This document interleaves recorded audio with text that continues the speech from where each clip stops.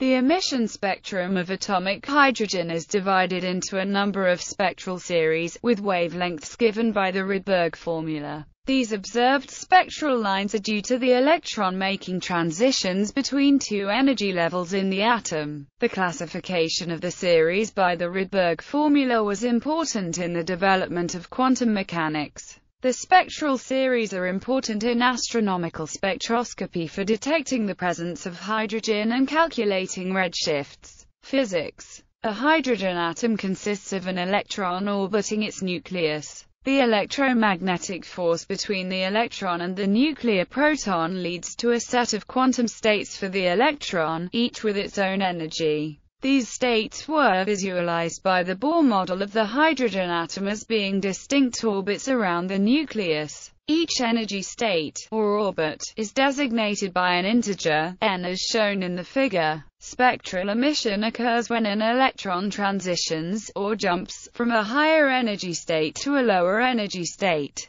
To distinguish the two states, the lower energy state is commonly designated as n, and the higher energy state is designated as n. The energy of an emitted photon corresponds to the energy difference between the two states. Because the energy of each state is fixed, the energy difference between them is fixed, and the transition will always produce a photon with the same energy. The spectral lines are grouped into series according to n. Lines are named sequentially starting from the longest wavelength, lowest frequency of the series, using Greek letters within each series. For example, the 2-1 line is called Lyman alpha, while the 7-3 line is called Paschen delta. There are emission lines from hydrogen that fall outside of these series, such as the 21 cm line. These emission lines correspond to much rarer atomic events such as hyperfine transitions. The fine structure OR also results in single spectral lines appearing as two or more closely grouped thinner lines, due to relativistic corrections.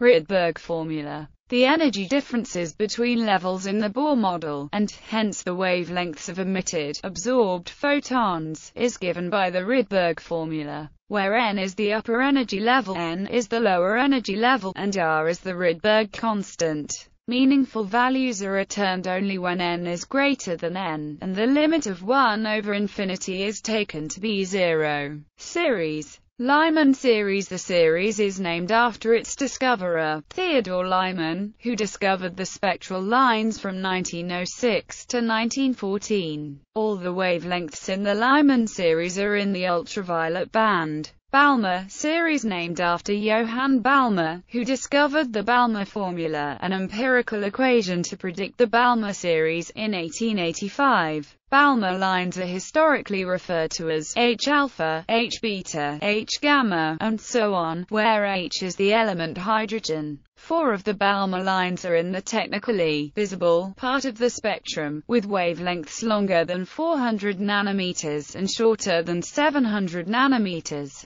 Parts of the Balmer series can be seen in the solar spectrum. H-alpha is an important line used in astronomy to detect the presence of hydrogen. Paschen series named after the German physicist Friedrich Paschen, who first observed them in 1908. The Paschen lines all lie in the infrared band. This series overlaps with the next series, i.e., the shortest line in the Brackett series has a wavelength that falls among the Paschen series. All subsequent series overlap. Brackett series named after the American physicist Frederick Sumner Brackett who first observed the spectral lines in 1922. Pfund series experimentally discovered in 1924 by August Hermann. Pfund. Humphreys series discovered in 1953 by American physicist Curtis J. Humphreys.